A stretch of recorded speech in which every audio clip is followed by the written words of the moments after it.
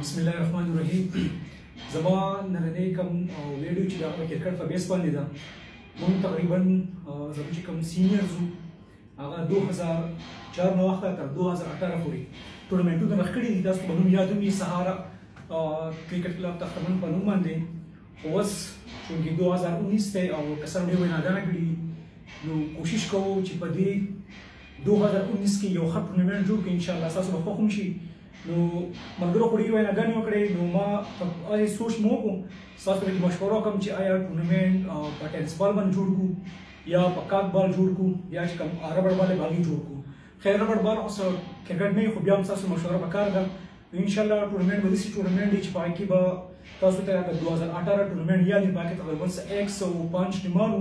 او فاینل چې هغه د ایوب صاحب نوې کړې او قمبر کیو سی سی مابین شو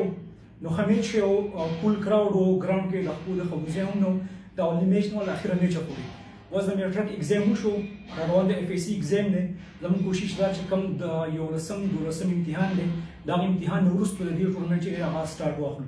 نو ملګری زیات تر وایي چې دا به یعنی د ویلیج په بیس باندې اوپن یا کلوز د دې هم تاسو مشوره راکړئ ډیسیژن وکړئ چې کوم څه څه خوښوي لکه چې دا موږ د پیسو لپاره دی درخ کړی دا یو انټرټینمنټ دی خلکو لپاره ځکه چې د خلک کم مشران دي کشران ټول به دې نجونو ته بناسي ان شاء الله او موږ به د هر یو ټیم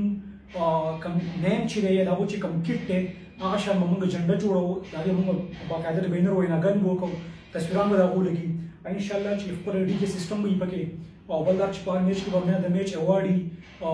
کم کس چې د باونډري نه بهر وي په کراوډ کې د هغو لپاره جدا انعامات به وي کیچ ورته موږ کم وایو